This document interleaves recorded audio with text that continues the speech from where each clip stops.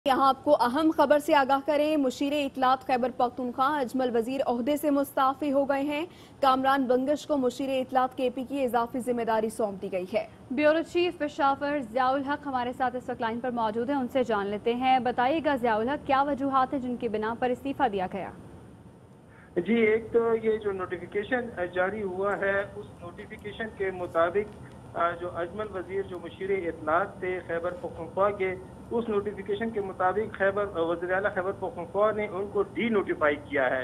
मतलब ये है कि उनको इस्तीफा नहीं दिया, बल्कि उनको डी नोटिफाई करके उसको इस अहदे से जो है तो अलहदा कर दिया गया है और इसके साथ ही जो इसकी इजाफी जिम्मेदारियाँ हैं, वो कमरान पंकज, जो मशीर बल्दियात है खैबर पख्तूनख्वा में वजी अला के, उनको इजाफी चार्ज दिया गया है इसका मशीर इतलात का। तो इस नोटिफिकेशन में कोई वजूहत तो सामने नहीं आई, लेकिन इसमें यह सिर्फ़ कहा गया कि खैबर पख्तनख्वा के वजी अला ने उस नोटिफिकेशन के इस नोटिफिकेशन के मुताबिक उनको डी नोटिफाई किया है। ठीक है, ज़ियाउल हक हमारे ब्यूरो चीफ पेशावर हमें ये बता रहे थे कि इन्होंने इस्तीफ़ा नहीं दिया।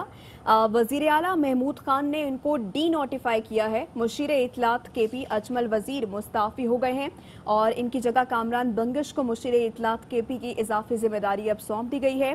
ब्यूरो चीफ पेशावर ज़ियाउल हक हमारे साथ मौजूद थे। उन्होंने बताया कि वज़ी अला के पी महमूद खान की जानब से इनको डी नोटिफाई किया गया है। ज़ियाउल हक बताइएगा इस वक्त क्या सूरत हाल है और ये बताएगा कि जियाउल हक हमारे साथ है। जियाउल हक ये बताइएगा कि डी नोटिफाई किया गया है उन्हें या वो मुस्ताफी हुए क्लियर कीजिएगा। जी इनको डी नोटिफाई किया गया है जो कि नोटिफिकेशन इस वक्त हमें वसूल हुआ है। और उस नोटिफिकेशन के मुताबिक खैबर वजी अला खैबर पख्तूनख्वा ने उनको डी नोटिफाई किया है और इनको कुछ कुछ माह कबल ही मशीर इतलात की जिम्मेदारियाँ दी गई थी। इससे कबल वज़ीर इतलात थे शोकत यूसुफजई साहब जो जिन्होंने रिजाइन किया था और उनको वजारत लेबर दी गई थी, लेकिन इसके, इनको, जो, इनको मशीर इतलात मुकर किया गया था। इससे पहले ये जमशुदा अजला के लिए वजी अला के तर्जुमान थे।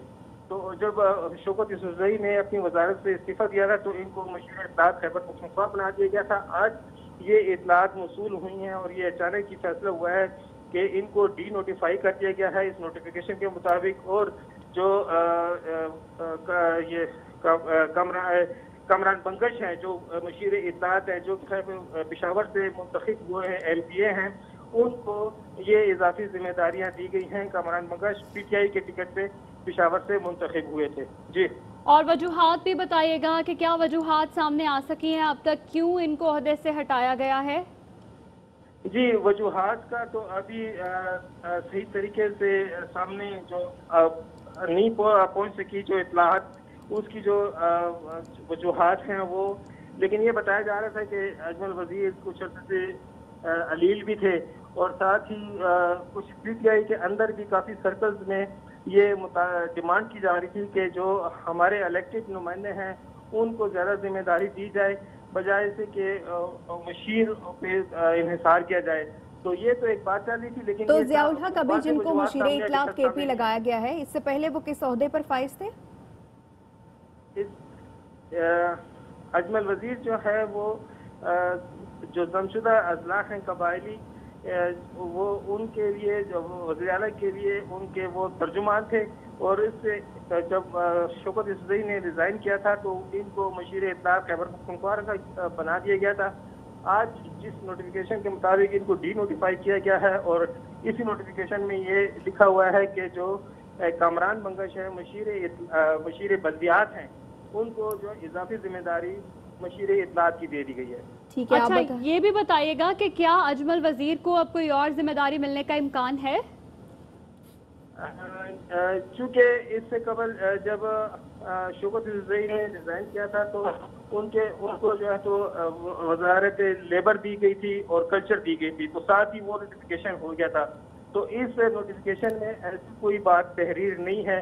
और ये भी एक वाजे हो चुका है कि चूँकि इसको वजी ने डी नोटिफाई किया है इसका मतलब यह है कि ये आ, इनके का कोई मस, कोई बड़ा इशू बना होगा जिसकी बुनियाद पर ये डी नोटिफाई हुआ है अगर अगर ऐसा ना होता तो फिर साथ ही इनको दूसरी को ज़िम्मेदारी सौंप दी जाती।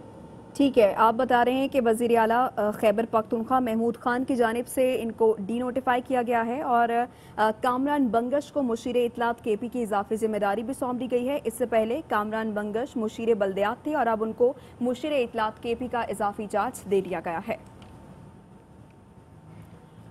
आपको आगाह करें इस हवाले से कि मुशरतलात खैबर पख्तूनख्वा अजमल वज़ीर को अहदे से हटा दिया गया है। अभी तक इसकी कोई वजूहत सामने नहीं आ सकी लेकिन ये भी बताया जा रहा है कि काफ़ी अरसे से वो अलील थे और मजीद उन्हें आइंदा कोई ज़िम्मेदारी सौंपी जाती है या नहीं इसका भी कोई अभी तक फैसला नहीं किया गया ना ही नोटिफिकेशन में इस बारे में कुछ तहरीर है।